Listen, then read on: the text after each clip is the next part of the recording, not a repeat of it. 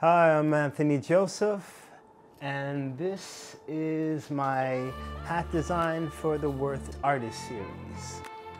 When I first looked at the WIRTH logo, I was like, oh, okay, it's doing a W. But I was like, it resonated more. It's just the connection, that interaction. I very much wanted to take the visual of the hands and basically convey a wave of support. And so I have the hands coming up in the wave and all supporting each other and ultimately coming up with one hand that continues to reach as if to convey that the wave continues and the flow continues. So I wanted to show glory, which we all try to achieve in our own respective ways. And so I have one hand reaching for the crown, reaching for that glory, and then another hand underneath, which is support.